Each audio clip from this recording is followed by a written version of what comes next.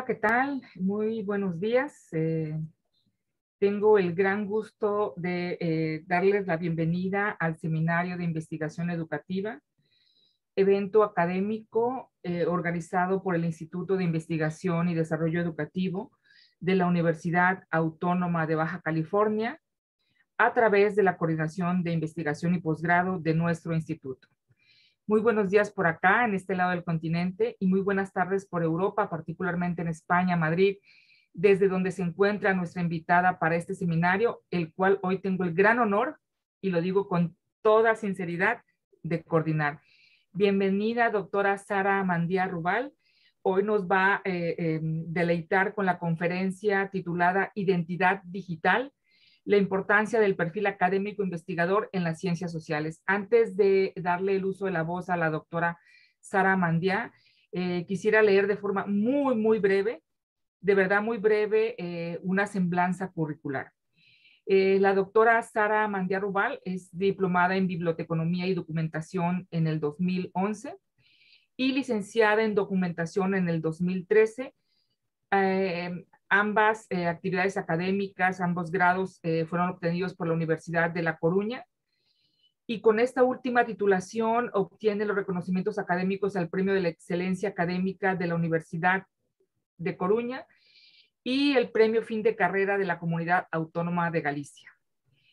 Eh, la doctora Sara Mandía Rubal también está acreditada con experiencia laboral en el sector de la información y la documentación y ha trabajado en diversas instituciones, eh, mencionaré solo alguna de ellas. En la propia Universidad de La Coruña, en el Senado de España, en el Parlamento de Galicia, en el Consejo Superior de Deportes, en la Biblioteca Nacional de España y también la Subdirección General de Promoción del Libro, la Lectura y las Letras Españolas. La doctora Mandía actualmente se desempeña con funciones del Servicio de Documentación y Comunicación en la Fundación de Investigación Biomédica Hospital Universitario eh, de Getafe y como responsable del mismo. Por eso, eh, eh, en, la invitación que se les hizo, la doctora Mandía tiene, digamos, esta categoría de investigadora independiente, una categoría muy utilizada recientemente por investigadores noveles, quienes están formándose un futuro en el ámbito de la investigación de diferentes ciencias, diferentes áreas, y que siguen trabajando, digamos, en áreas afines a su formación. La doctora Mandía Rubal también tiene un máster, que lo que entendemos aquí también como maestría en comunicación e industrias creativas por la Universidad de Santiago de Compostela y eh, obtiene, el grado de doctora en comunicación e información contemporánea de esta misma universidad, cuya tesis tuve el gran, gran honor de codirigir junto con un colega y amigo, el doctor eh, eh, Miguel López Túñez. Y con esta tesis de doctorado, eh, si mal no recuerdo, doctora Sara, en este mismo año usted obtiene el reconocimiento real Academia de Doctores de España. Eh, también quiero decir, como esta parte de, donde embona con nuestro instituto, es que la doctora Sara Mandia ha sido una eh, participante muy activa en el cuerpo académico del TICE, las tecnologías de la información y la comunicación en educación, porque ha participado eh, como eh, autora eh, única en, en, cada uno de los dos libros que hemos elaborado. Y también he tenido el gran gusto de participar como coautora, primera y segunda, en diferentes artículos indizados en bases de datos como Scopus de acceso abierto, porque es una de las cosas que promueve mucho la doctora Sara, el acceso abierto a la información y bueno, tiene eh, ponencias en eventos eh, internacionales y eh, pues sin más preámbulo, ya no quiero presumir tanto porque realmente para mí es un orgullo haber podido colaborar con usted en este, esta formación académica de su tesis doctoral y pues le doy la más grande bienvenida desde acá, desde México, con un fuerte abrazo y bueno, estamos listos para escuchar su, su conferencia, doctora Sara Mandía. Un gusto. Muchas gracias por estar con nosotros.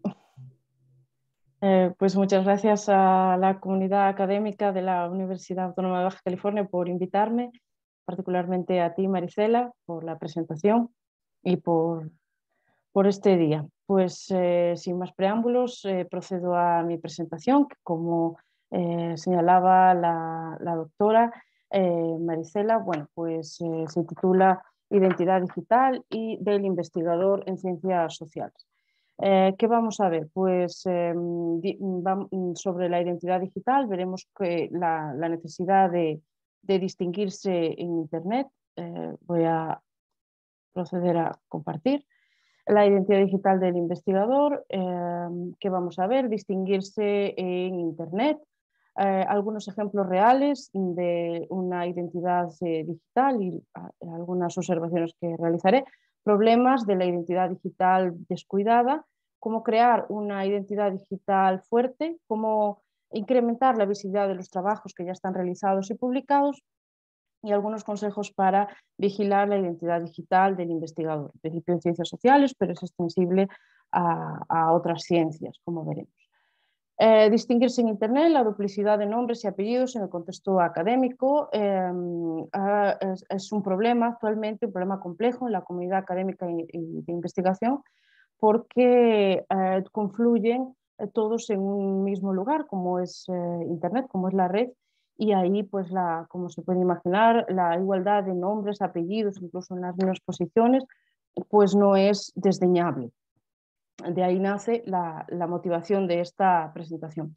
La identidad digital es el resultado del esfuerzo consciente que realiza el investigador por y para ser identificado y reconocido en su área, eh, se distingue a través de la normalización de su firma, eh, de, identificadores, de la difusión de sus resultados y de ser eh, de suscribirse o ascribirse a un área.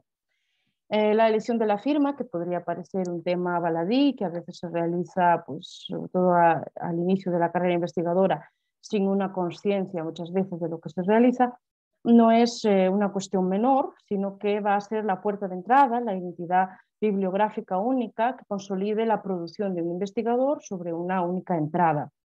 Y será, a su vez, como digo, la puerta a, la carrera como profesional y, a su trayectoria.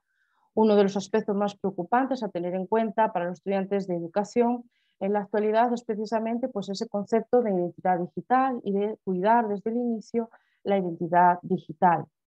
Eh, la competencia digital eh, se demanda en conocimientos, habilidades, aptitudes que permiten eh, una gestión de la información. La digitalización de la sociedad confiere a cada persona una identidad digital que crece y se desarrolla, como digo, en paralelo a la identidad del mundo físico. Ahora en, el tiempo del COVID, de la pandemia, pues vemos cómo nuestra primera Em, entrada o nuestra el reconocimiento o la primera comunicación con un colega es habitualmente eh, por internet, ya sea en los propios congresos, pero muchas veces pues porque conocemos su nombre o lo vemos en algún sitio su firma y queremos ver qué, trabaja, porque puede que trabaje algún área similar a la nuestra y buscamos simplemente en Google.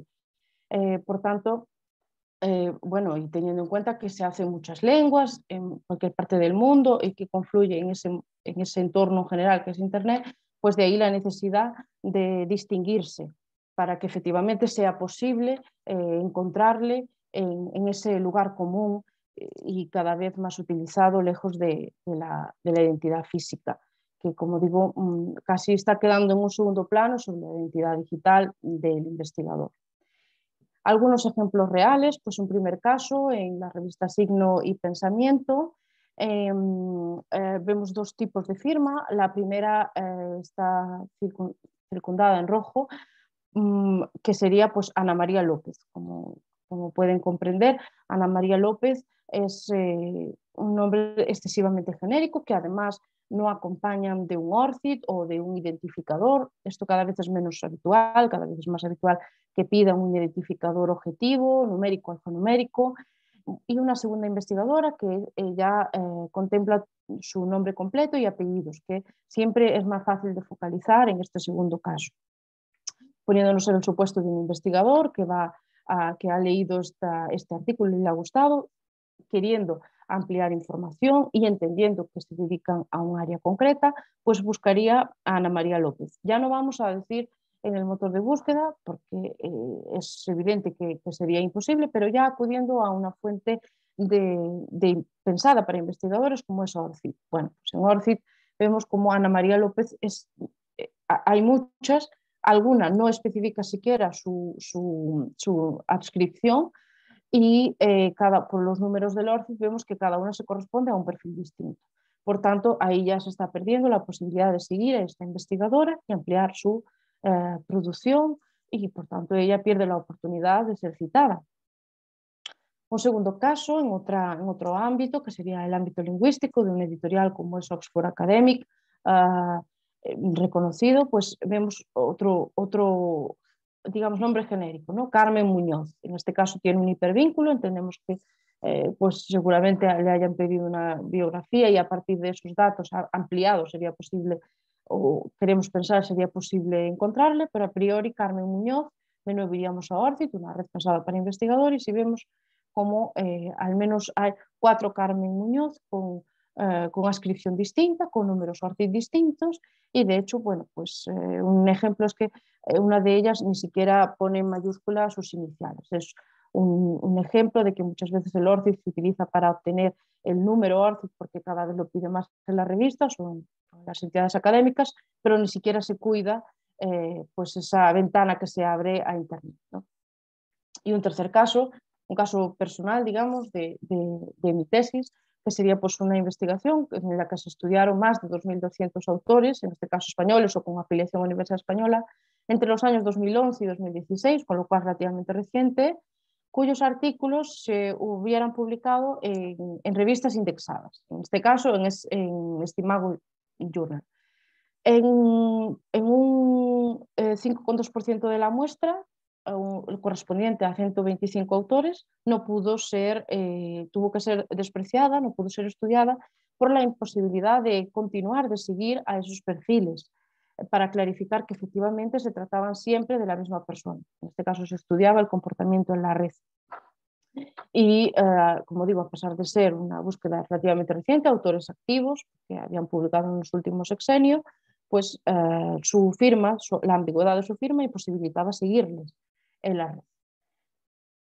¿Qué problemas tiene una identidad digital descuidada? Pues atribuciones erróneas de trabajos ajenos, la no atribución de trabajos propios, citas que se pierden, métricas inexactas, evaluaciones eh, desfavorables o a la baja, imposibilidad de seguir la trayectoria de un investigador, la imposibilidad de ampliar su bibliografía, etc. O sea que realmente cuando nuestra, única puerta muchas veces centrada a, a, un profesional, a un colega, es Internet, mmm, desconcierta que no se pueda seguir la pista en última instancia porque las citas le benefician, es lo que se persigue cuando se publica, que alcance citas, que alcance visibilidad.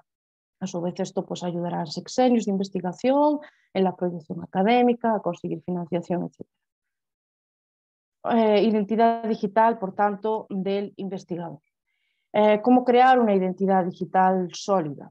Eh, primero, con la firma, como vimos, se aconseja siempre una firma completa por apellidos y nombre, que se unan con guion. Este motivo es porque en la literatura anglosajona hay un, existe un único apellido, por tanto las bases de datos van a tener problemas en encontrar dos eh, apellidos, se unen con guion y se evita este problema.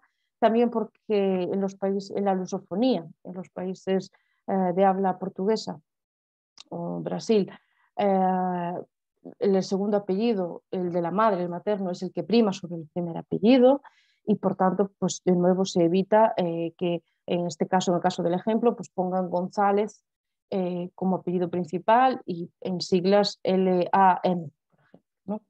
Igualmente con los nombres eh, compuestos en España muy comunes, también se unirían con guion para evitar problemas en las bases de datos y en la recuperación de la información. Asimismo, eh, las tildes eh, se normalizarían, o sea, el propio autor decidiría si su firma es con o sin tildes, porque, por ejemplo, en mi caso, pues lo he puesto con tilde, pero realmente es un problema si, caracteres especiales a la hora de recuperar la información y eso también puede ser un motivo de pensamiento y de análisis para, por ejemplo, no ponerlas, pero en ningún caso, claro. Segunda, segunda parte, ¿no? la definición de las líneas de investigación.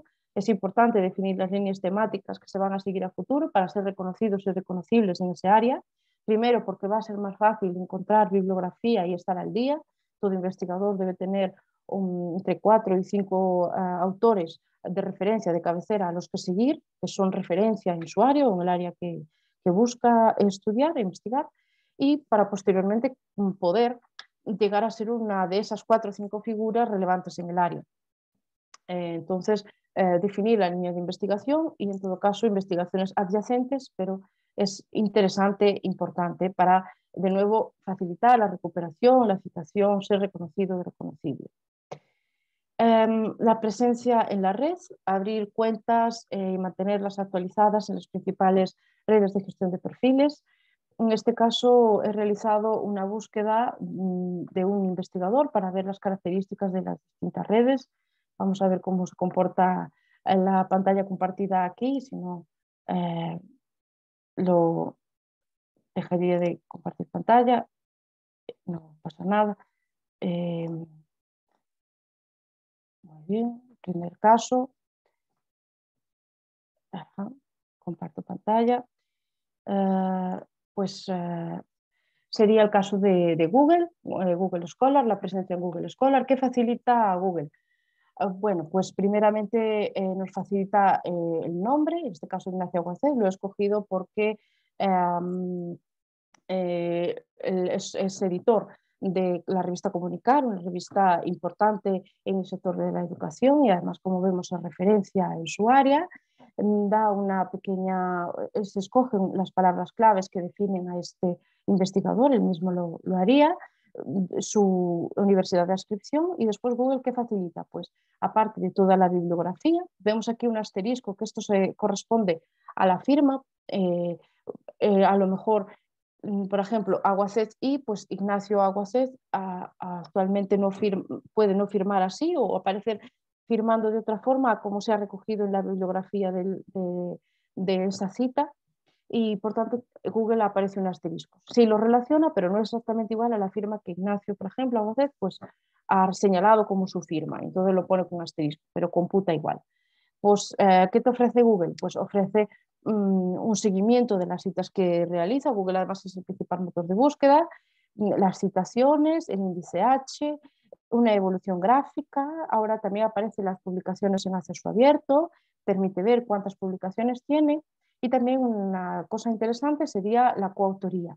Es posible enlazar con autores con los que este investigador suele trabajar, de modo que es fácil seguir una línea, de nuevo una búsqueda de más eh, bibliografía. Por ejemplo, pues Jesús Salinas, otro eh, profesional de la educación, en este caso eh, de las tecnologías de la educación, también referente a su área, y aquí podrías entrar a, su producción científica para de nuevo seguir investigando, seguir y facilitar la citación, que es lo que se pretende con, una firma y con una presencia ordenada en Internet. dejo de compartir pantalla. Em, vamos eh, de nuevo a, a otra, que sería en este caso ORCID, lo vamos a ver, eh, perdón, Resergate. Em, eh, Resergate, ¿qué permite esta red social? Pues, un momento, tengo que volver a compartir pantalla, pero merece la pena.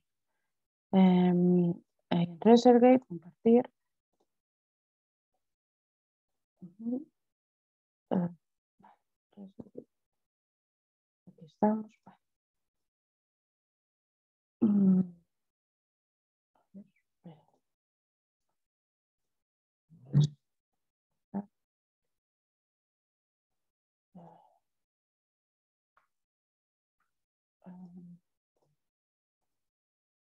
No sé por qué no me deja compartir pantalla. Bueno, última instancia, si no lo digo verbalmente. Deja mm. compartir eh, Ah, ok, vale, ok, vale, lo tengo. Ahí va, ahí va.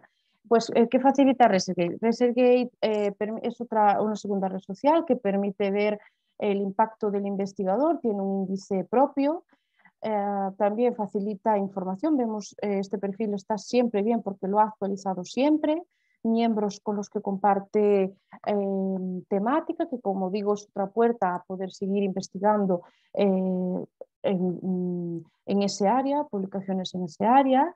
Eh, vemos el número de citaciones que tiene, los materiales, por qué eh, disciplinas se define, mm, qué, lenguas habla el investigador, inglés, francés y, español. Em, las publicaciones, aquí permite descargar la publicación o seguir la publicación. Y lo que es más importante, pues permite una, interacción entre investigadores, es a su vez una red social en la que puedes, si alguna ah, publicación que has puesto no está en acceso abierto, puedes solicitar al investigador que te la facilite y, eh, bueno, aparte de eso, pues tiene trabajo, etcétera, o sea, tiene, es una red social, eh, cuando Google Scholar facilita, la, facilita el índice H y las publicaciones, está a mayores es una, una red social. Em, ahora sí, eh, mm, eh, Research, ID, que sería en este caso Publons. Eh, ahí lo vuelvo a... Ok, vale. Research em, ID ha pasado a ser Publons de, mm, de la Web of Science. Aquí automáticamente hace el cambio si alguno tiene ResearchGate ID sigue conservando el número de identificación que, al igual que ORCID, facilita eh, la, eh, encontrar inequívocamente a un investigador. Em, facilita las, publicaciones y especifica mm, cuáles pertenecen o cuáles tienen presencia en la Web of Science. Puedes ver las métricas del investigador con gráficos, muy interesante. Mm, como digo, ah, pues eh, pues eh, las, publicaciones que tienen en la Web of Science, la citación, el índice H. Como vemos aquí, el índice H em, es un poco eh, menor porque se, se, circunscribe a la Web of Science, por eso todas las, las redes sociales que, bueno, los recursos que se presentan aquí son relevantes porque en Google Scholar se puede seguir alimentando, eh, Publons se constriñe, se restringe más a la Web of Science, pero igualmente pues facilita datos, como digo, muy, muy interesantes. Eh, y finalmente ORCID, el recurso que, conocemos seguro eh, todos y que cada vez es más solicitado en la academia y en las revistas. Mm. pues ahí está cargando su ORCID hay que permite una breve descripción de, la persona, en este caso hábilmente, pues lo ha puesto, si veis, la misma descripción en español e inglés. Eh, ORCID, como digo, es cada vez más utilizado porque facilita un número em, que es más fácil de recuperar para las bases de datos y para la identificación inequívoca que em, define al investigador, así como hay ISSN y ISBN en los libros, pues es un número de identificación. Eh, presencia en otras webs que tiene, o sea, vemos aquí cómo el investigador se, ha molestado, digamos, en eh, anotar en las webs en las que aparece eh, y por tanto, desde muy distintos sitios hay posibilidad de acceder a su producción, de acceder a su, trabajo, a, a, su nombre, conocerlo, que siempre, como digo, es fundamental para poder citarle. Em, eh, otra cosa que tiene ORCID muy interesante es que mm, puedes poner eh, las, firmas que has tenido en algún momento eh, como investigador. Lo más conveniente sería que tuvieras una única, pero si no ha sido así, puedes especificar qué firmas has tenido para la agregación automática de los, trabajos. Aquí vemos que Aguacet, a pesar de ser un investigador consolidado, pues en algún momento ha firmado de formas muy distintas. Esto, eh, a pesar de que, como digo, es, eh, contribuye a unificar su producción, pues siempre la, no, la, firma distinta pues, va a dificultar que el propio buscador automáticamente pues, encuentre todos tus trabajos o te asigne todas las citas que debería y mejore tus índices. Pero bueno, eh, eso, pues las, enlace directo a las webs en las que tiene presencia, palabras por las que se define, y em, códigos numéricos y alfanuméricos que le, que le definen inequívocamente. Eh, interesante, pues tiene un apartado para el trabajo, para eh, los eh, puestos donde está, si ha tenido menciones, premios, etcétera, y sus trabajos.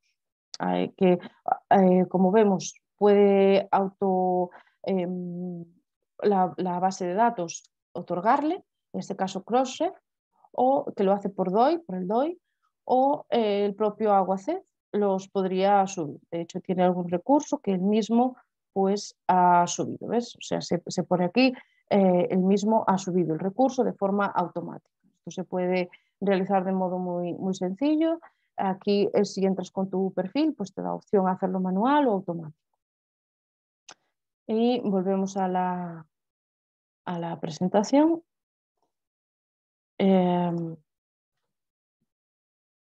Comparto pantalla.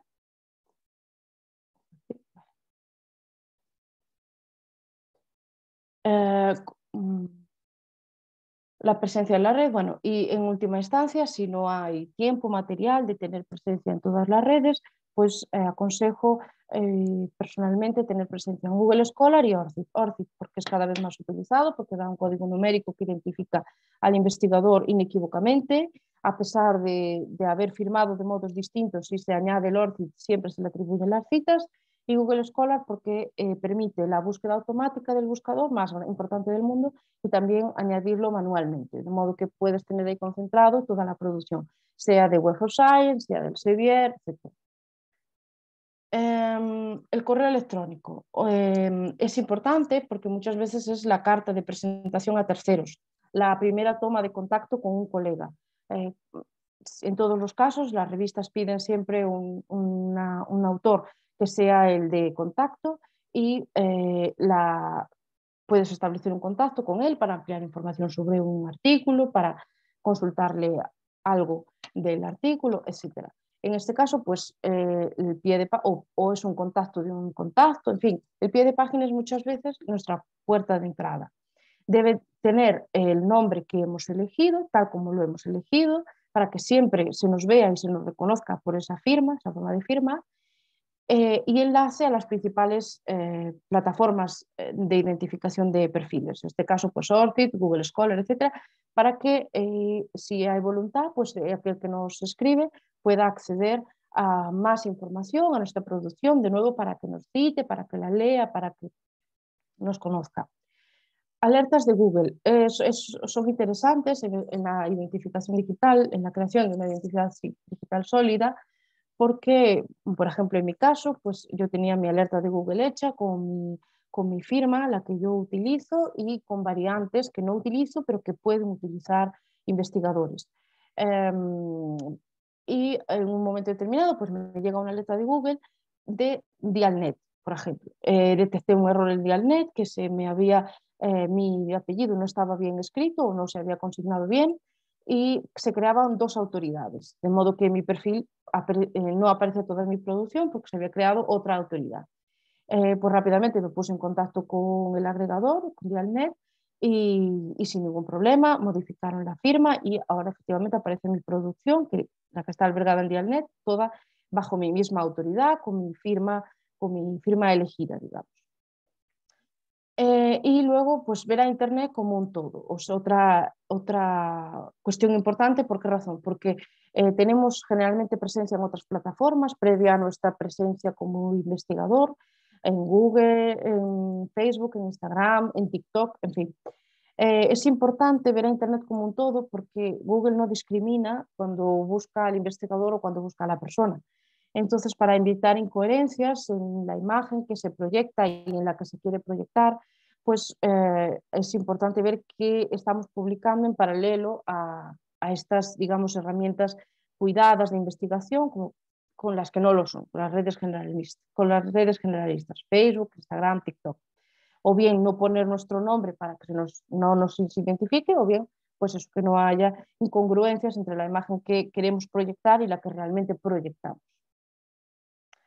Eh, estar en formación continua es otra parte importante de la identidad digital, el lifelong learning o la formación a lo largo de la vida. Todo investigador sabe que debe reciclarse, estar en continuo eh, adquisición de conocimientos, por eso esas cuatro o cinco fuentes a las que acudir periódicamente y a, las, a través de las que poder ampliar información, porque siempre publican con alguien, etc.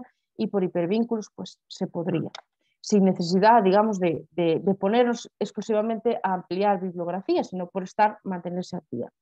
Eh, publicar con calidad es, eh, como digo, el camino más rápido para aparecer en cabeceras fuertes, en cabeceras indexadas y para mantenerse en, digamos, en actualidad, con solvencia, o sea, tener una, una, identidad digital solvente como investigador en nuestro área.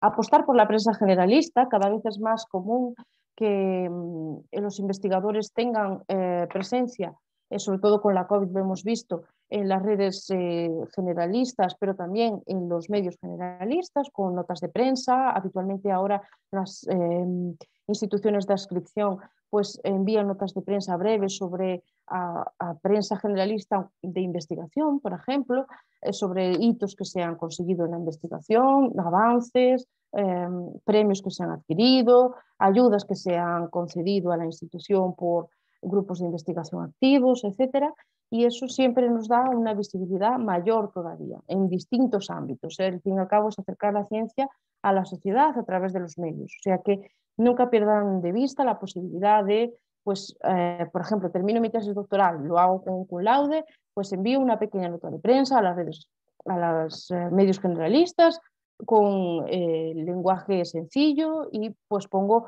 pues que la he conseguido, que lo, que lo que se haya logrado y sobre todo lo que interesa a la sociedad, que, le he legado a la sociedad, que, que ha proporcionado mi investigación a la sociedad. En la mayoría no lo sacarán, pero en algunos sí, a lo mejor te llaman para ampliar información, en fin. Y ser activo en convocatorias, ayudas y premios. La financiación se ha convertido en un problema para la investigación porque cada vez em, la gente, pues un porcentaje mayor de gente estudia, tiene acceso a investigar, a, la academia y mm, la, financiación por definición es limitada. Entonces, bueno, estar pendiente de ayudas, convocatorias y premios nos dará visibilidad si las conseguimos, porque la otra institución, la que nos financia, pues también querrá eh, de nosotros explotar eh, nuestra investigación, hacer público su patrocinio, etcétera y es un win-win, ganan ambos. Entonces, bueno, eso, no descuidarse y buscar convocatorias, ayudas y premios siempre da visibilidad al investigador que los consigue. Eh, ¿Cómo aumentar la visibilidad de los trabajos en la red? Eh, pues con el autoarchivo.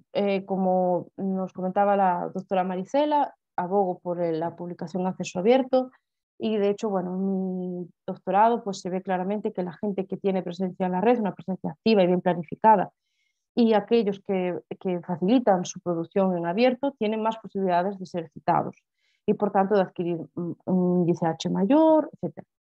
Y algunos ejemplos pues sería Dialnet, DOAG o ELIS. Uh, Dialnet sería por eh, mm, archivo delegado, o sea, es la propia web la que, mm, la que nos eh, sube el documento con una autorización previa y, por ejemplo, el IS, eh, nosotros mismos abrimos cuenta y podemos colgar la, nuestra producción en Internet. Aquí nuevamente eh, voy a acceder para que vean qué rentabilidad tiene el investigador, digamos, caso de Dialnet. Um, a compartir pantalla. Pues en el caso de Dialnet, aquí volvemos a ver a Ignacio Aguacet, que como digo, concentra todas las, revistas, las, publicaciones eh, en una misma plataforma, eh, pone las instituciones de inscripción, el área de conocimiento en la que, se, en la que lo encuadran y las plataformas o herramientas, algunas de las que he comentado, pero hay otras en las que tiene presencia el investigador, sus años de publicación, cuando ha empezado, y una herramienta relativamente reciente que es Dialnet Métricas, que analiza la relevancia de las revistas en las que se publica y las citas que se, que se le otorgan al investigador. O sea, de nuevo, otra pestaña, otra oportunidad de mm, eh, vernos en el motor de búsqueda más utilizado del mundo, en Google, en las primeras posiciones cuando buscan nuestro nombre. En este caso, pues Ignacio Aguadez. Mm, voy a entrar, por ejemplo, en, en para que vean eh, cómo se recoge la producción del nombre de autoridad perdón, del investigador, las variantes que tiene. Esto es lo que, digamos, vamos a intentar evitar eh, con una firma eh, pensada y planificada desde el inicio, que no se pierda ninguna publicación, ninguna cita del investigador. Enlaza a las principales bibliotecas nacionales, en este caso la Biblioteca Nacional de España, que de nuevo tiene sus distintas firmas, como ha firmado en alguna ocasión. Aparece la firma autorizada arriba, en este caso la autorizada sería, como vemos, el nombre completo y los dos eh, apellidos, cómo ha sido utilizado en alguna ocasión y pone las fuentes donde ha sido utilizado en estas cuatro ocasiones, o cinco ocasiones, el nombre de autoridad, como ejemplo de que efectivamente lo ha utilizado así, con guion, sin guion, em, con un primer apellido, en fin. Eh, en el IS, el repositorio, que, nos, que como digo, eh, en, en, el otro caso, en el caso de Dialnet, es un archivo delegado, o sea, tú envías el documento a Dialnet y con una autorización eh, con un documento que ellos te dan, lo autorizan si ellos lo publican. En este caso, ELIS eh, lo bueno que tiene es que es autoarchivo. Eh, simplemente tienes que crear un usuario y archivar la producción. En este caso, mm, he escogido uno de los libros de los que tengo capítulo, de los que ha mencionado la doctora Maricela, para ver qué nos facilita ELIS de la producción científica. Pues nos facilita enlace completo al documento, una previsualización, la cita, cómo se debe citar en APA, algunas características, las referencias bibliográficas del documento y las citas que ha ido obteniendo en esta base de datos. Es interesante porque vemos cómo 69 citas en un mes, o sea, cómo eh, ha ido siendo la progresión de, las, de, las, citas y eso es siempre interesante, ver qué proyección ha tenido nuestro trabajo. Em, volvemos a, la presentación. Eh, las ventajas de, aumentar la visibilidad de nuestros trabajos en la red a partir pues, de Dialnet, DOA, eh, ELIS, pues sería la conservación, em, la conservación de los materiales, la visibilidad y obtener un enlace permanente, una URL a la que acudir siempre que no tengamos el documento físico, por ejemplo, o sea, es de utilidad hasta para el propio investigador. Ah, disculpa, eh, eh, sigue proyectada la... la ah, sí, vale. Eh, gracias. Mm, aquí, déjame compartir, ¿vale? Voy a disculpar, compartir pantalla, compartir. Vale. documentos que son autoarchivables, artículos publicados en las revistas, ponencias de comunicaciones, eh, lo que se denomina literatura gris y que generalmente tiene poca proyección, lo podríamos eh, subir a la, red y conseguir también citas, digamos, de esas comunicaciones, trabajos académicos, eh, informes técnicos o científicos y todo tipo de materiales. Cada vez más frecuentes los datos de investigación, lo que se llama cura, cura de datos, mm, que es, como digo, cada vez un documento más frecuente, open data, etcétera. Y eh, aquí, bueno, comentaros mm, que hay que tener en cuenta dos cosas. Si la publicación ha sido publicada, valga la redundancia previamente, mm, debemos tener en cuenta que nos deja hacer la revista en la que lo hemos publicado a la hora de autoarchivar. Ahí doy dos eh, recursos, Dulcinea y Sherpa Romeo. Dulcinea para el caso español de publicaciones españolas, Sherpa Romeo para el caso internacional, que pone eh, en función de los colores que nos permite autoarchivar eh, posteriormente a la publicación. Por eso esto es eh, importante eh, de cara al autoarchivo, mm, tener, conservar todos los documentos que se han generado a partir del artículo, tanto el primer documento, el bruto, como o preprint, lo que se envía a la editorial, como el postprint, lo que realizamos después de tener la, la, revisión por pares y sus observaciones, o en última instancia si dejan pues, eh, el propio artículo maquetado de la editorial. Como vemos aquí es sencillo porque por colores eh, nos permite ver lo que dejan y lo que no dejan hacer. Cada vez el, blanco, que es en ningún caso cada vez es menos frecuente porque para la propia publicación de la revista es interesante que se le dé más visibilidad y que, y que consiga citas porque redunda también en su, en su, en su cabecera. Y bueno, otras formas de aumentar la visibilidad con esa, con esa identificación eh, cada vez más frecuentes sería Twitter y LinkedIn. Son redes generalistas en las que el investigador también debe tener presencia porque tiene una parte profesionalizante o profesional. Y ahí, bueno, muestro un ejemplo, como por ejemplo el profesional de la información, eh, ya obliga o aconseja al investigador dar cinco epígrafes relevantes de su investigación que posteriormente ellos pues colocan en tweets, en una parte eh, relevante del artículo, etcétera, y son ganchos para que la gente entre al artículo, lo lea y lo cite, que es lo importante en última instancia. Vemos tanto por parte de la revista como por parte de uno de los investigadores cómo hace, mm, cómo ceba o cómo hace promoción de su, de su artículo, de su trabajo, entre la comunidad, entre la que cree que puede interesar. Ah, finalmente, o ya llegando hacia el final de la presentación, eh, ¿te has preguntado alguna vez qué identidad muestras en el mundo digital? ¿Qué huella dejas en Internet? ¿Qué reputación estás eh, dejando en Internet? La huella digital es el rastro de nuestra actividad en Internet y dejamos mucha fe de lo que pensamos, de lo que somos, de lo que nos parece, más de lo que pensamos, con likes, con retweets, con compartir documentos. Eh, ahí es donde también es importante ver qué queremos proyectar y lo que realmente proyectamos, que no sea incongruente, que nuestra reputación eh, online sea la misma o al menos la tengamos tan presente como nuestra reputación física cuando vamos a un congreso, cuando hablamos con un investigador relevante.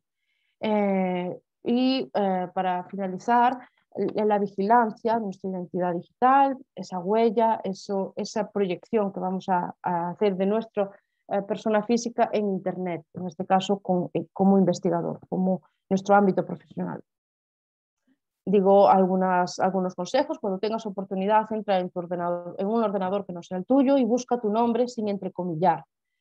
Mira entre las primeras respuestas de Google si eres la primera persona recuperada. Si no lo eres, debes mejorar tu identidad digital unificando las firmas, como digo, en esas opciones que tiene ORCID o, eh, mm, sobre todo ORCID es, eh, lo que nosotros podemos hacer activamente, una ligazón entre nuestra firma autorizada y aquella que hemos empleado en alguna ocasión y eh, actualizar o, mejorar o aumentar nuestra presencia en las redes de gestión de perfiles anteriormente mencionadas, Publons, eh, Resergate, Google Scholar, Orcid, porque eh, va, la recupera en primera instancia el motor de búsqueda. Entonces siempre nos va a dar una visibilidad mayor cuando alguien teclee nuestro nombre y apellidos porque lo ha visto en alguna bibliografía o le han comentado que tratamos un área.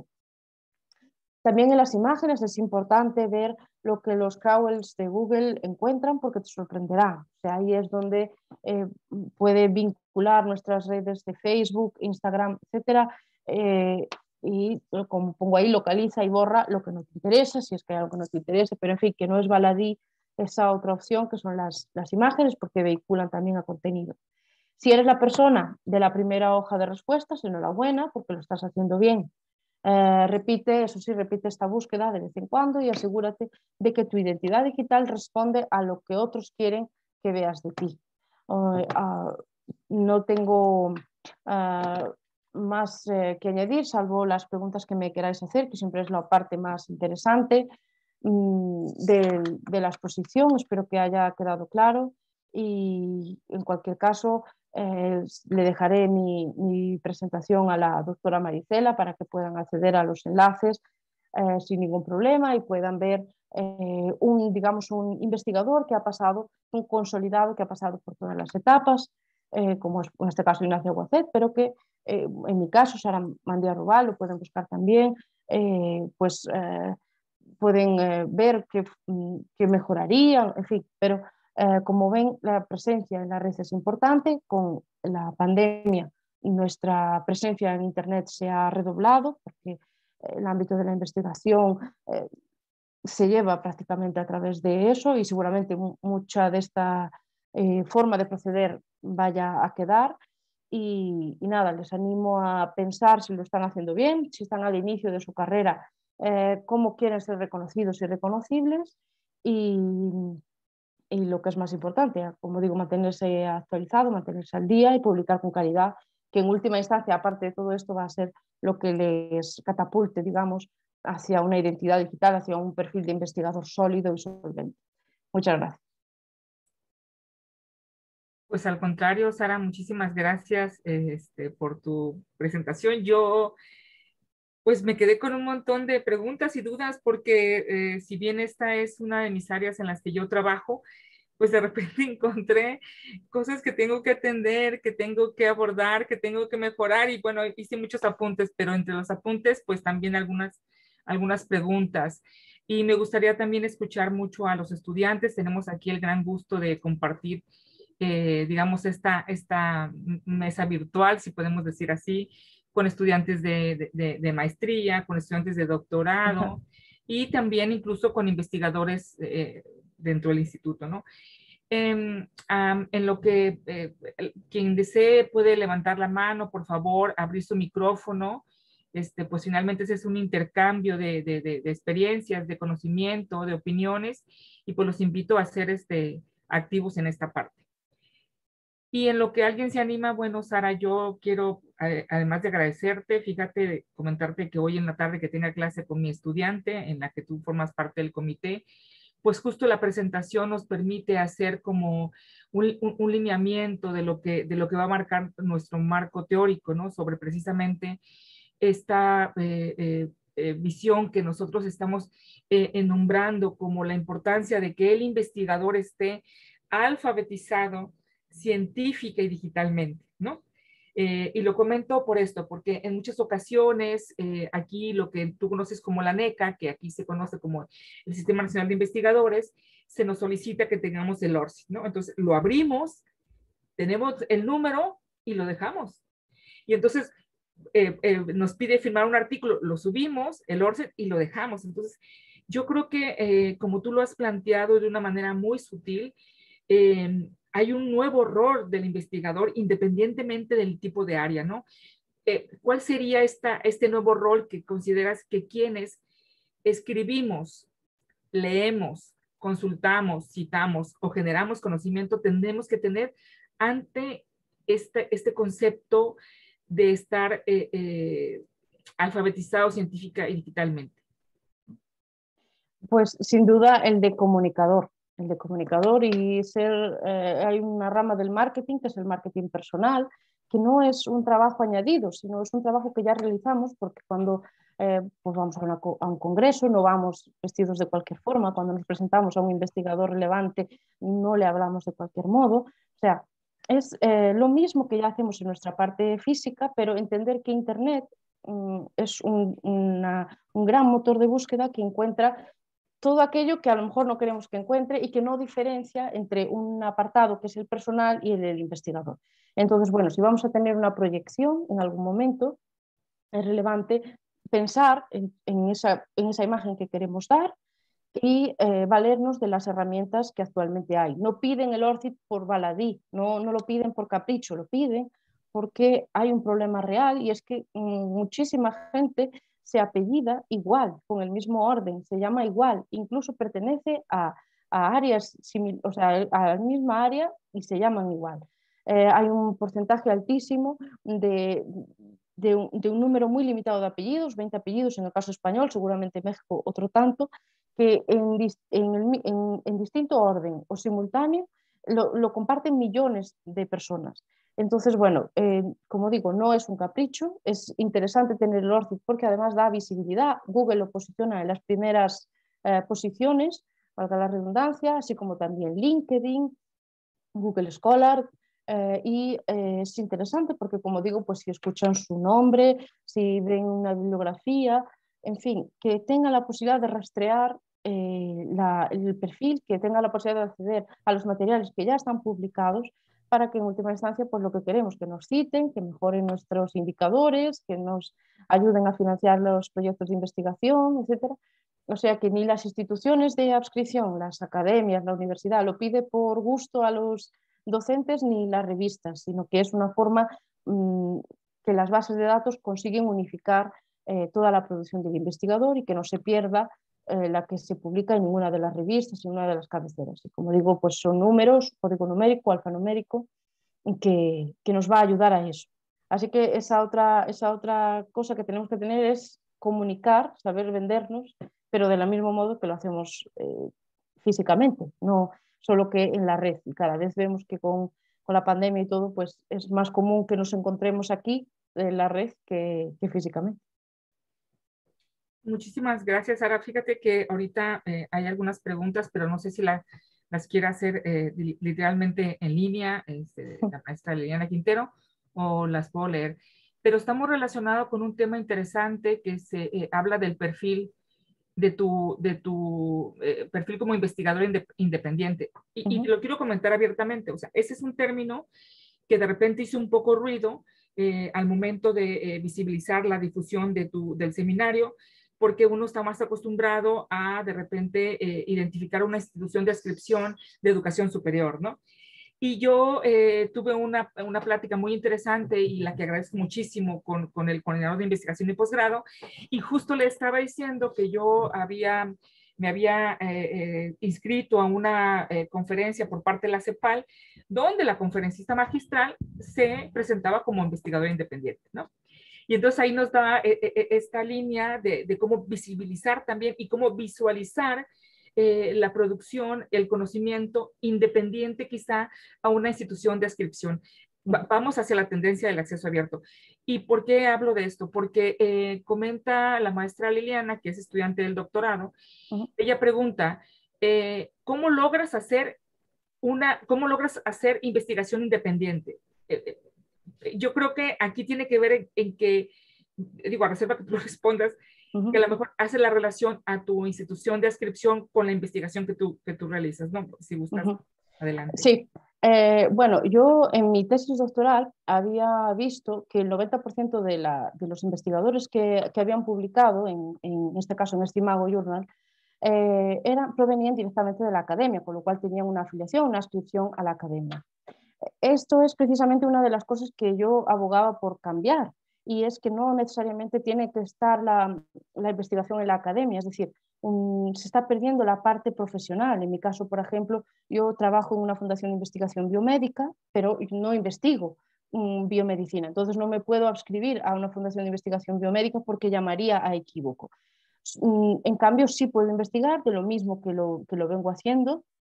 Eh, y, en este caso, bueno, por lo, por lo que he sido premiada, eh, sigo eh, leyendo la bibliografía, sigo en contacto con mis eh, colegas investigadores y eh, no puedo igual enviar mis, digamos, mis trabajos a las revistas científicas.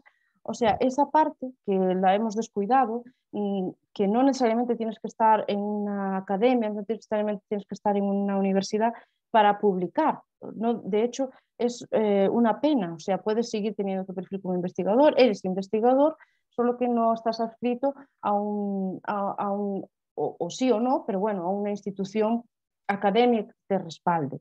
Entonces, eh, bueno, desde aquí un llamamiento a que ninguno de vosotros que estáis estudiando el, máster o el maestrado, pues eh, que, que, no dejéis nunca de, si os gusta la investigación, si os gusta publicar, de mejorar vuestra publicación, de intentar publicar en revistas, de ver cómo os va pues, el índice H. Nunca sabéis cuándo vais a querer acceder a una institución de educación, por ejemplo, en la universidad, que os lo van a pedir, o en mi caso eh, al sexenio, o en fin, en la Fundación de Investigación Biomédica en la que trabajo, pues también se valora eso para otorgar financiación, etcétera.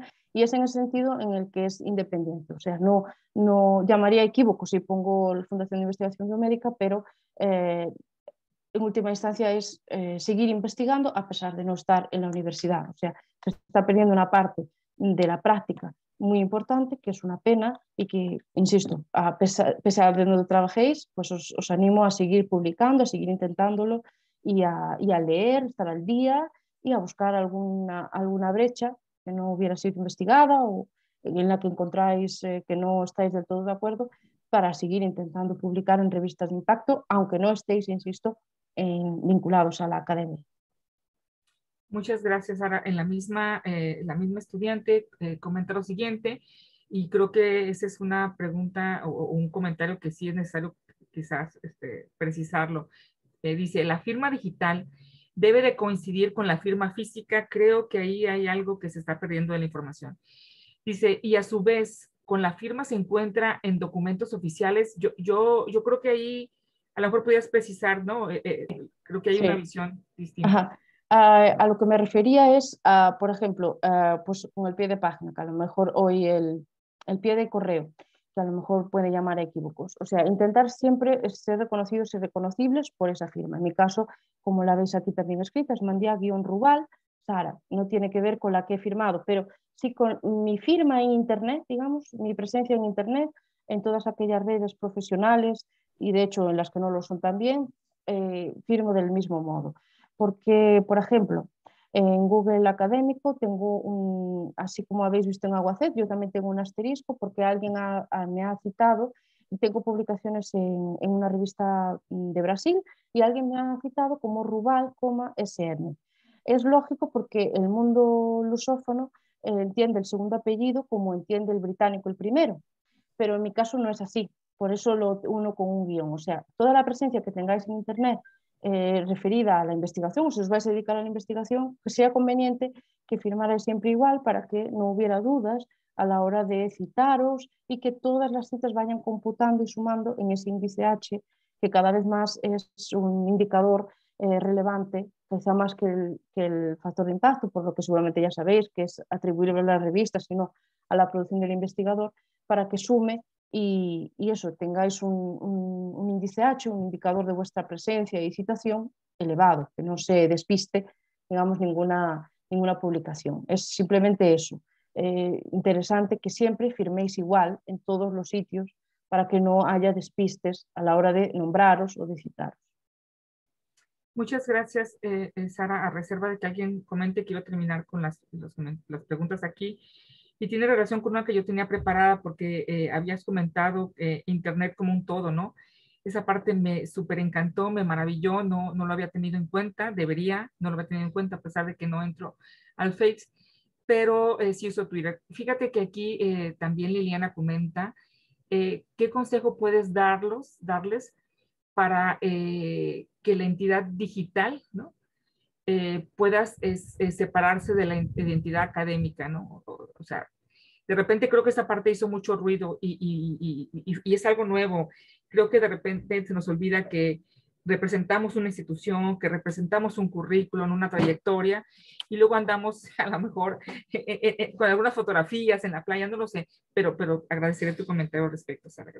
Sí. Sí, sobre todo, como digo, si las, eh, las primeras posiciones de Google, si tienes una identidad eh, solvente, o sea, en Orfit, si tienes presencia en Google Scholar, si tienes presencia, pues eso te va a figurar en primer orden. ¿Qué pasa? Que mm, chirría o hace ruido en Google Imágenes, que es que me, no es que a mí me pasara personalmente, pero sí lo tengo visto de otros investigadores, eh, porque aglutina todas las imágenes de uno y eso vincula a, a la, propia, al propio, a la propia red. Entonces, eh, si de repente tienes una, imagen de perfil eh, poco adecuada o que no comulga con, tu imagen eh, como investigador, pues enlaza directamente a tu Facebook. Entonces, ¿qué consejo daría? Bueno, pues daría cambiar la, autoridad. Por ejemplo, otra cosa curiosa que suele suceder. Mm, cada vez veo que desde hace unos años se utiliza más Twitter por parte de las revistas y te mm, etiquetan ponen el, tu nombre y apellidos y te etiquetan en Twitter para eh, algún artículo que has sacado. Hemos visto el profesor de la información, pero lo hacen, casi todas las revistas tienen un, Twitter, Pangea, en fin. Eh, y de repente veo que eh, el arroba, o sea, la identificación, pues ah, mm, es un nombre un mm, poco mm, amigable, o, en fin, pero que no, no es el apellido o no es un nombre o no es, sino al, yo que sé, algún nombre familiar, algún nombre cariñoso y queda fatal. Entonces, cada vez lo que se hace más es cambiar, eh, cambiar intentar no poner, si es personal, personal estrictamente, pues no poner tu nombre, tu nombre real, O sea, porque, bueno, no pasa nada, no sé tampoco lo que tengan, pero tener eso en cuenta es importante, es importante.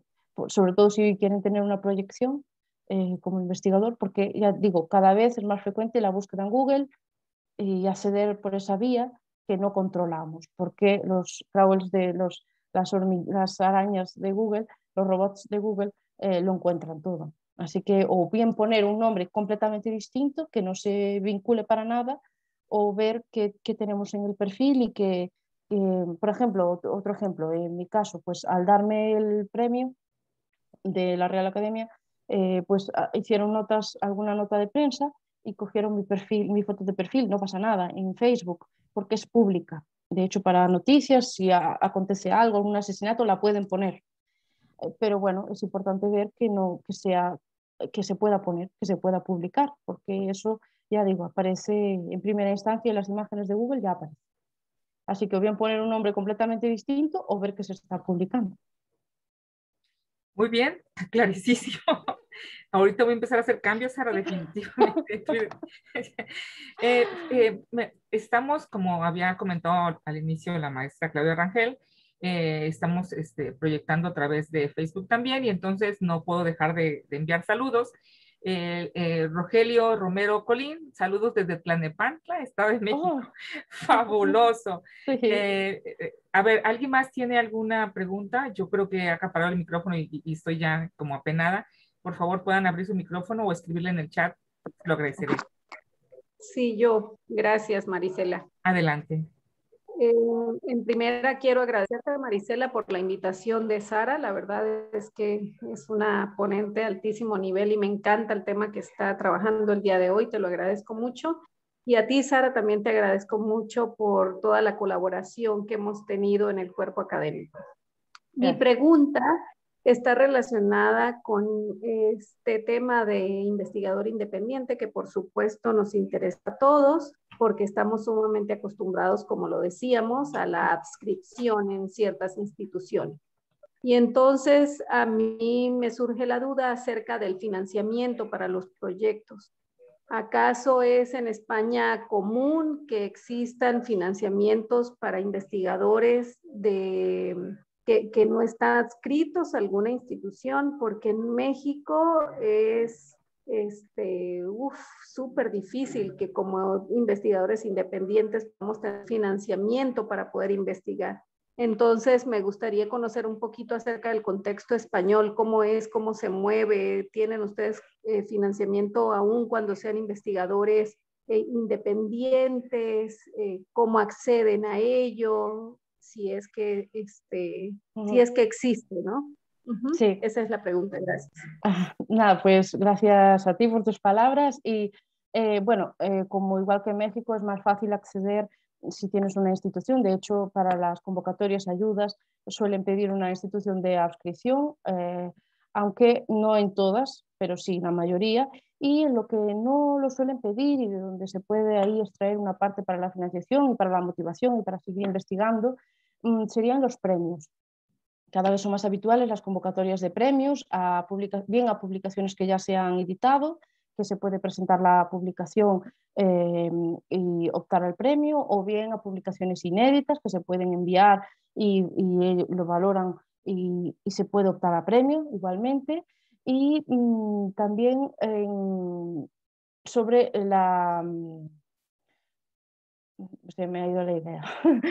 Disculpen, eh, en mi caso, por ejemplo, sobre un premio, que, o sea, mi premio que es el de doctorado, pues sobre un trabajo ya, ya publicado. Ah, se me, se me había olvidado. Y sobre traducción, eh, traducción y APCs. Eh, tampoco hace falta para eso, no en todas las convocatorias, para traducción y APCs Article Processing Charges, los eh, pagos por publicación, que son muy costosos, sobre todo en revistas eh, eh, tipo el Sevier, WOS, etcétera, que rondan los 2.000 euros, en este caso, dólares en el vuestro, 2.500. Pues cada vez hay más ayudas concretas a la publicación en este tipo de revistas, a la traducción al inglés, y no en todos los casos se necesita tener una institución de inscripción. En la mayoría sí, pero ya no en todos. Y como digo, mm, eh, se está perdiendo una parte muy importante del, conocimiento, que es el conocimiento práctico, que se adquiere, por ejemplo, pues, en ingeniería eh, en los coches, ¿no? o sea, en, los ingenieros que, diseñan los coches, etcétera, pues no necesariamente tienen que ser eh, ingenieros de universidad, sino gente que está efectivamente trabajando y que tiene mucho que aportar. Así que, eh, insisto, animo a la gente a que siga investigando, que siga vinculada a su tutor. Eh, yo a mi tutora Maricela la sigo a veces molestando y, que no dejen de hacerlo sin necesidad eh, necesariamente de tener una institución de inscripción. Muchísimas gracias. Muchas gracias, Sara. Gracias, doctora Katiuska. gracias, este, doctora Sara. ¿Alguien más tiene algún comentario? Ah, eh, eh, eh, a ver, yo, yo voy a, a, pedir que el doctor Sergio haga un comentario. Él siempre participa. No puede estar ahora muy serio el doctor Sergio Reyes. A ver, doctor Sergio Reyes. ¿Por qué tan serio hoy? mi personalidad cambiante. ¿Qué tal? Bueno, pues muchísimas gracias. Muy completa, llena de información. Por momentos abrumador tomar conciencia de todas las rutas de visibilidad de nuestra producción científica más que una pregunta, es un dolor de cabeza que te comparto. Y es que muchas veces no sé cómo establecer una estrategia eficaz, porque son tantas las posibilidades y todas cuentan y todas son útiles y todas hay que explorarlas. Y dado el corto tiempo de existencia humana que todos compartimos, eh, la pregunta en concreto es cuál sería la, no sé si el atajo, es una forma de banalizar la pregunta, pero cuál podría ser una manera cabal de desarrollar una estrategia que poco a poco funciona de forma eficaz y al mismo tiempo nos evita esa sensación de no podemos tocar todos los palos al mismo tiempo. Y nada más, un abrazo. Bueno, pues muchas gracias. Igualmente un, abrazo. Pues eh, yo eh, lo que os comentaba en última instancia, pues escogería Google Scholar porque, se, porque él mismo recupera la, la, la producción y al mismo tiempo si hay alguna que se despista se puede añadir manualmente, cosa que no se puede añadir en Plublons porque es para WOS, para Web of Science o eh, la plataforma de, del Sevier, de Scopus. Eh, en este caso, eh, que sería Mendeley, bueno, en este caso, pues Google Scholar, como digo, permite la, búsqueda por parte del buscador y la inserción por parte del propio investigador. Mm, y, como digo, es interesante, como hemos visto, porque mm, hace un cómputo del índice H, que a veces luego lo piden las instituciones las, en las que trabajamos. Mm, y por otro lado, eh, el ORCID, serían las dos eh, que más tendría presencia. ResearchGate es una red eh, muy utilizada, no es desdeñable. En mi, trabajo de, mi último trabajo de investigación vinculado a la tesis, pues vi que de hecho era el que más se utilizaba porque era compartido con el ámbito anglosajón y el ámbito hispano, digamos, y bueno, es la más utilizada, pero mm, de tener dos tendría esa, Google Scholar y ORCID. ORCID también permite la agregación manual y sobre todo porque posiciona muy bien en las primeras posiciones de Google, si busca el nombre aparecerá. Eh, la estrategia, la estrategia es tenerlo en mente y cada vez que sabe que se ha publicado un trabajo, pues no demorarse en ver si lo unas semanas, pero sino ya grabarlo. Mm, otra, otra cosa buena que tienen es que al citar más autores, si es en colaboración, pues uno, si uno de, de los autores lo mete, al otro le sale automáticamente. O sea que al final tampoco lleva tiempo, pero ni tanto. Eh, para mí, disculpa que te interrumpa, para mí le diste en la tecla, es la construcción de ese hábito. En mi caso personal es lo que todavía no he logrado, ¿no? Es como a impulsos, de momento me pongo al día y de repente lo abandono, pero no he integrado de manera más fluida todo este cultivo de la identidad digital académica en, redes. Pues es interesante porque a veces cuando nos piden el ORCID, como decía la doctora Maricela en las revistas, lo piden para tener el código alfanumérico, en este caso código numérico, pero también lo miran. O sea que, eh, porque una primer cribado cada vez más frecuente, eh, dado el volumen de publicación, no se envía directamente a la revisión a ciegas, o sea, sino que se hace una revisión primero en la editorial, cada vez lo ponen más en las, en las revistas y no, no, digo que influya completamente, pero indudablemente siempre tiene más peso un autor eh, con un número de trabajos y un número de citación que aquel que no lo tiene y a lo mejor es simplemente porque no lo ha votado. Muchísimas gracias, doctor Sergio. Este, te presumo, eh, eh, Sara, que el doctor Sergio está eh, adscrito al instituto, está realizando una estancia postdoctoral este, y, es un eh, colega, digamos, este, español que queremos muchísimo, que ya es más mexicano que español y bueno, pues este, lo tenemos aquí en el instituto y aquí lo queremos pues, este, raptar, definitivamente. Eh, yo eh, quisiera comentar algo en lo que a ver si alguien se anima. Bueno, este, em, ah, sí, claro, este, bueno, pues también mi este, directora de tesis de la maestría quiere preguntar algo, la doctora Graciela Cordero. Por favor, este, Graciela, adelante. Muchísimas gracias. Hola, ¿qué tal? Buenos días para todos, buenas tardes para ti. Muchas gracias por estar aquí en este seminario. Em, a mí me parece tan importante esto que están ustedes eh, presentando, lo que, lo que presentas.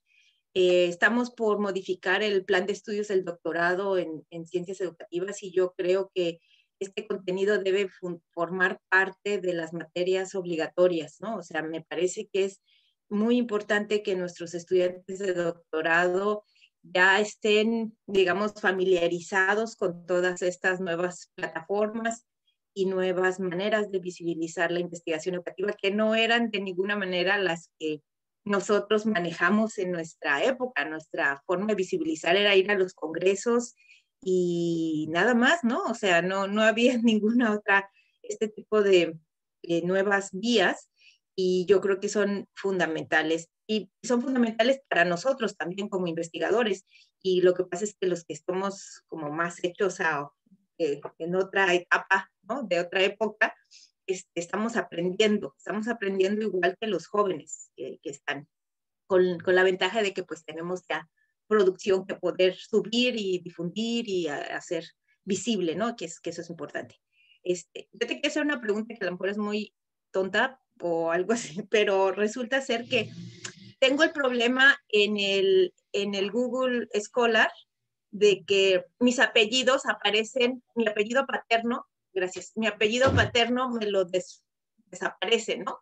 Y la verdad no sé bien cómo resolverlo. Te escuché que dijiste en internet, escribiste y no sé qué, y te, hicieron un ajuste, pero yo no sé si esto es posible también en, Google Scholar.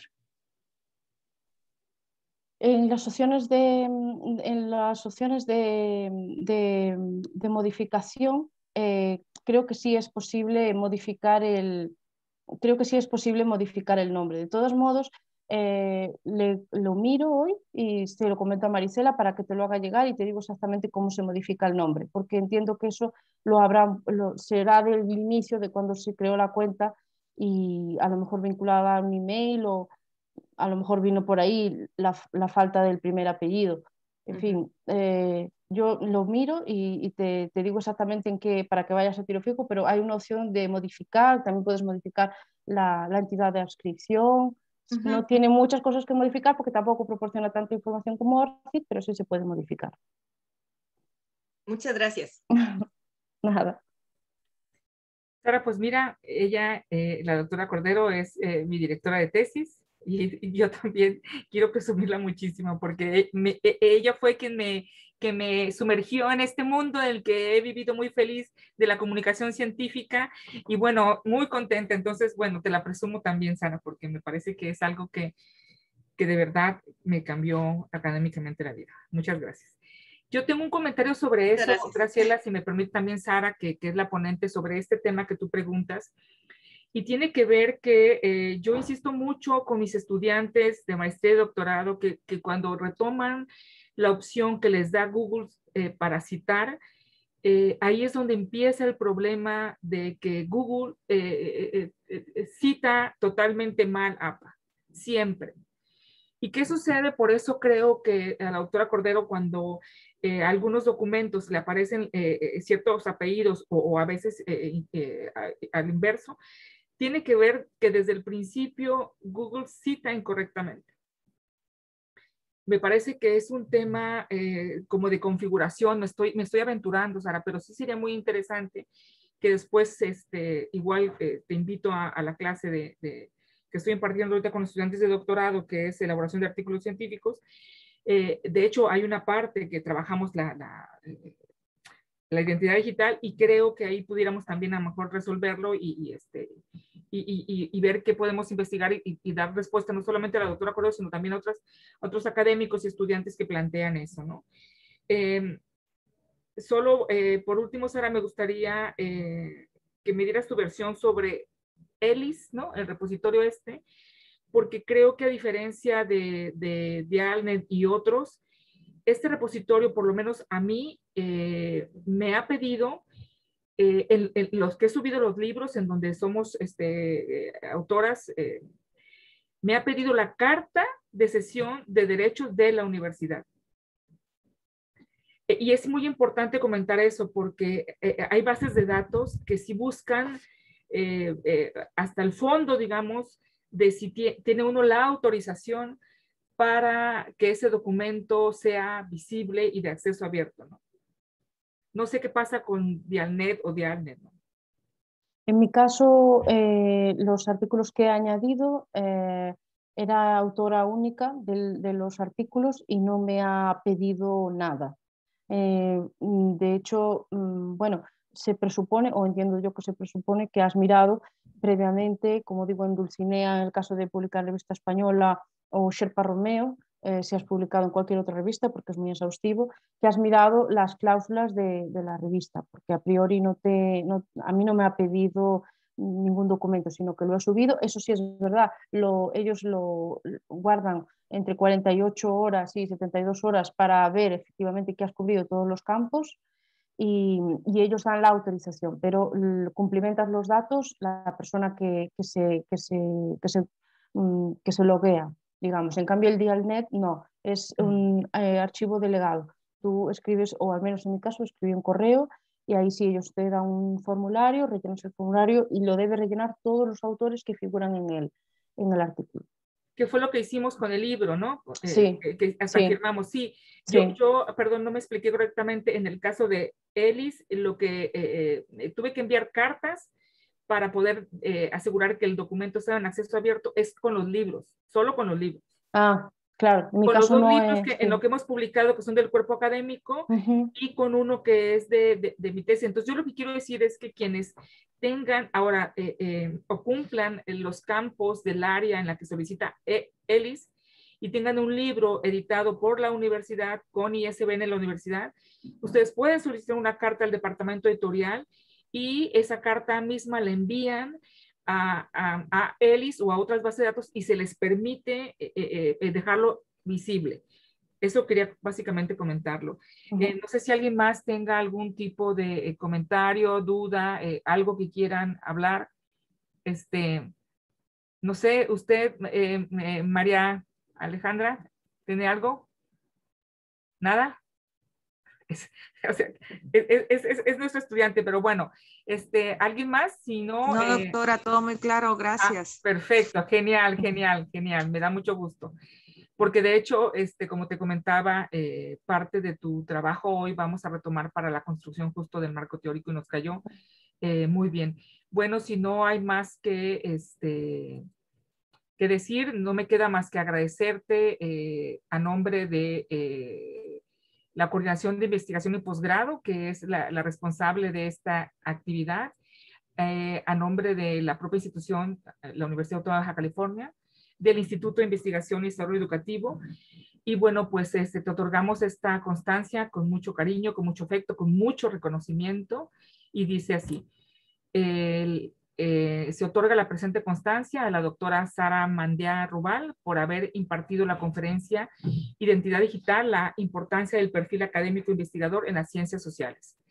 Por la realización plena del hombre, en Baja California, 2 de junio de 2021, la firma del doctor Alfonso Jiménez Moreno, eh, eh, director del instituto, y el doctor Sergio Málaga Villegas, coordinador de investigación y posgrado pues muchísimas gracias, eh, eh, doctora Saras. Es, es, es, es un gusto eh, estar aquí, es un gusto haberte escuchado. Me siento muy contenta, muy satisfecha y pues que vengan adelante los investigadores independientes. O sea, claro, sí, claro, pues, es eso lo que trabajamos, ¿no? Ahora, si me permiten, yo creo que una vez que termine este, el protocolo de la grabación, nos vamos a quedar un momentito para tomarnos una foto quedo ya a, los comentarios de la maestra este, Claudia Rangel, sí, este, porque por nuestra parte pues sería todo. Muchas gracias. Cedo la palabra a difusión que va a tomar una fotografía. Gracias. En este momento dejamos de transmitir en Facebook. Listo. Hola, les habla Vanessa